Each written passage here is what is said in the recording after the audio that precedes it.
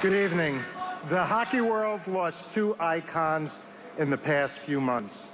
The NHL family held them in such high esteem that one was almost always known as Mr. Snider, and the other was almost always known as Mr. Hockey. Ed Snider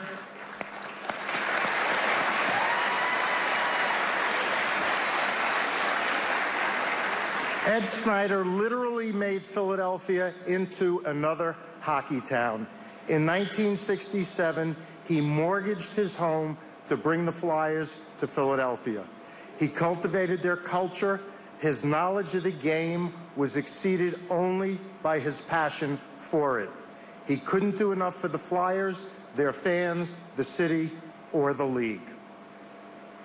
In addition to being Mr. Hockey, Gordie Howe was Mr. Everything.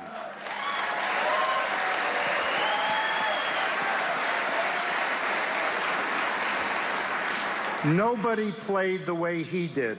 No player was so equally feared and respected.